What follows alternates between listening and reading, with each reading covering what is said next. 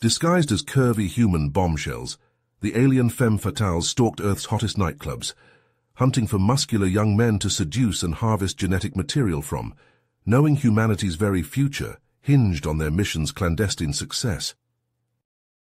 Our birth rates have plummeted. Our genetic diversity is critically low. The Iridian race will go extinct within a generation if we don't find a solution, Sagan said. The tall, iridescent-scaled alien paced anxiously in the dimly lit laboratory full of advanced technology. Tycho, an aged Iridian in flowing robes, gripped his staff and nodded. We've exhausted all options on Iridia. The humans of Earth are our only hope. Their genetic makeup is remarkably similar to ours, and they possess adaptability, a trait we lack. Sagan stopped pacing. A glimmer of hope shone in his violet eyes. You're suggesting we use human DNA to revitalize our gene pool? But how? The humans are primitive xenophobes. They'll never agree to help us willingly. Ah, but that's where our shape-shifting abilities come in, Tycho said with a knowing smile. We'll send a team of our most attractive females to Earth, disguised as human women. They'll seduce the human males, collect their genetic material, and return to Iridia. The humans will be none the wiser. The... Sagan frowned. It seems risky. What if the humans discover our true nature? Can we trust our agents not to form attachments to their targets? Tycho waved a dismissive hand. Nonsense. Our agents are professionals, experts in seduction and deception, and the primitive humans pose no real threat. This plan is foolproof. Very well, Sagan sighed, still uncertain. I'll assemble the team and brief them. The fate of our species rests on their success. The two Iridians exited the lab, ready to put their audacious plan into action, unaware of the unforeseen complications that awaited them on Earth complications that could unravel everything and seal the extinction of the Iridian race once and for all. The bright California sun glinted off the trendy storefronts lining the crowded Los Angeles street. At a bustling outdoor cafe, two stunning women sat across from each other, sipping lattes and scanning the passers-by. To the casual observer, they appeared to be just another pair of beautiful friends enjoying a day out, but Astra and Lyra were far more than met the eye.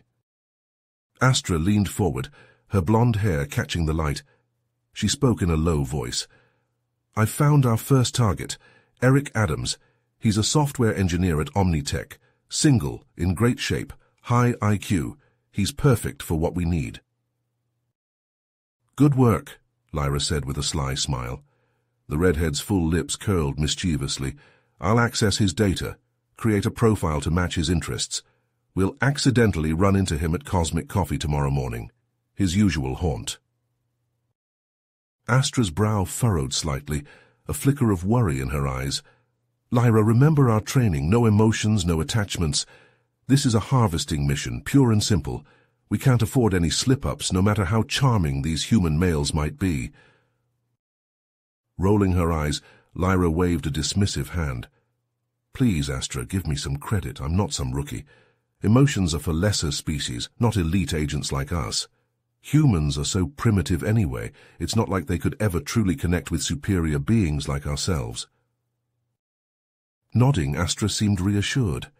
The two Iridians finished their drinks and rose from the table, their holographic disguises shimmering subtly in the bright sunlight. As they strode confidently down the street, a group of human men openly gawked at the head-turning beauties. Astra and Lyra exchanged a knowing glance. Their seductive trap was already being set. But little did the alien agents realize as they vanished into the crowded urban jungle to begin their manipulations that Eric Adams was not just some simple human rube.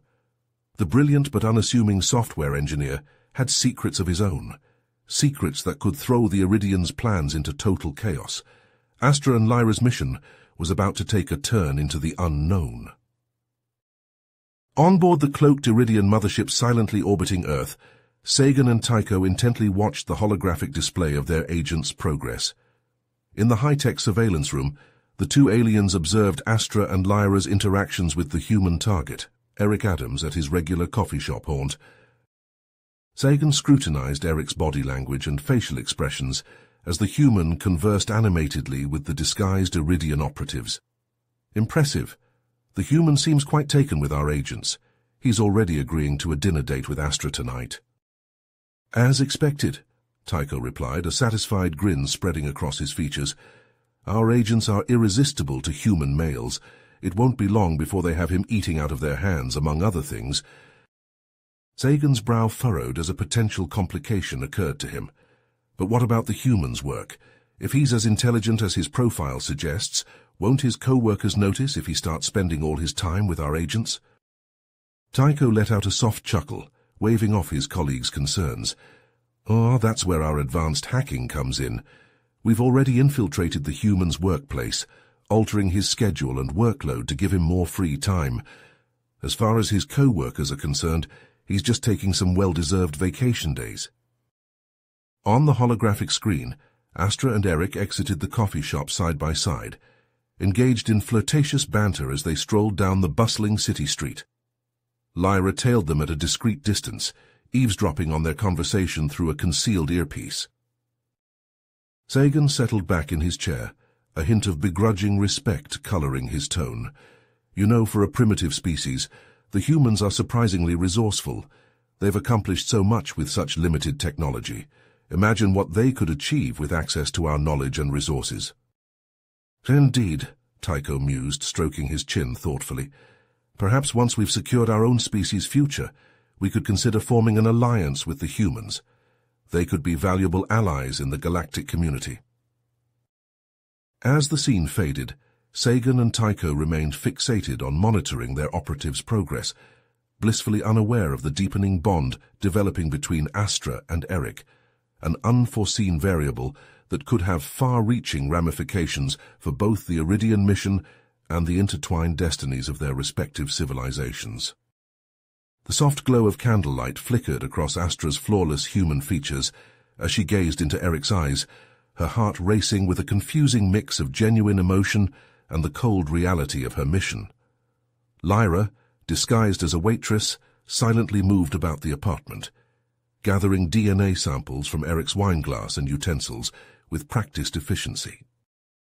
As the evening wore on, the conversation between Astra and Eric deepened, moving from casual flirtation to a profound connection neither had anticipated. Eric leaned in close, his words slightly slurred from the wine. There's something about you, Astra. I feel like you understand me in a way no one else ever has. It's like you're not even from this world. Astra's breath caught in her throat, a sudden surge of guilt and longing threatening to overwhelm her carefully constructed facade. Eric, I... I feel the same way. But there's something I need to tell you. Something important. Just as the words began to form on her lips, Lyra's earpiece crackled to life, Sagan's urgent voice filling her ear. Lyra, we have a situation. Human scientists have detected our mothership. They're trying to make contact. You and Astra need to return immediately. Lyra sprang into action, staging a fake emergency phone call. She rushed into the dining room, her face a mask of concern. Astra, we need to go. It's Mom. She's in the hospital. Torn between her mission and her growing feelings for Eric, Astra hesitated for a brief moment before nodding. She turned to Eric, her eyes filled with regret. I'm so sorry, Eric. I have to go. I promise I'll explain everything later. As the two Iridian agents hurried out of the apartment, Eric sat alone at the table. Confusion and heartache etched across his face, blissfully unaware of the interstellar drama unfolding around him. On the mothership's bridge, Sagan and Tycho faced a tense standoff with the human scientists, their secret mission suddenly on the brink of exposure. The lead scientist, a middle-aged man with greying hair and a look of wonder in his eyes, spoke first. Greetings, visitors from the stars. We come in peace, seeking to learn from your advanced civilization. Sagan and Tycho exchanged a worried glance, the weight of their decision heavy upon them. They could retreat and abandon their plan, leaving their species to face extinction, or they could take a chance and engage with the humans directly, potentially gaining powerful allies in their desperate quest for survival, but risking everything in the process. Sagan and Tycho sat in the dimly lit conference room, the weight of their species' fate bearing down on them. The door slid open with a soft hiss, revealing Astra and Lyra, their human disguises now shed. Astra stepped forward, her violet eyes shimmering with emotion. Sagan, Tycho, I, I couldn't go through with it. Eric and I, we connected on a level I never thought possible with a human. He deserves to know the truth about who I am and why I'm here. Sagan sighed deeply, his scaled brow furrowing. Astra, you know as well as I do that the truth is a luxury we cannot afford. The humans have discovered our presence, and we must act swiftly to ensure our survival. Lyra, her expression stoic, interjected. The mission was a success. We've obtained the genetic material needed to begin the revitalization process. We should return to Iridia before the situation with the humans escalates further. Tycho shook his head, his eyes narrowing. Abandoning the mission now would be a mistake. The humans have proven themselves to be far more capable than we initially believed. They could be invaluable allies, but if we leave them feeling betrayed, they could also become formidable adversaries. Sagan leaned back in his chair, his mind racing as he weighed their options. After a long moment he spoke. We will proceed with the genetic integration as planned. However, we will also initiate a limited exchange of information with the human scientists.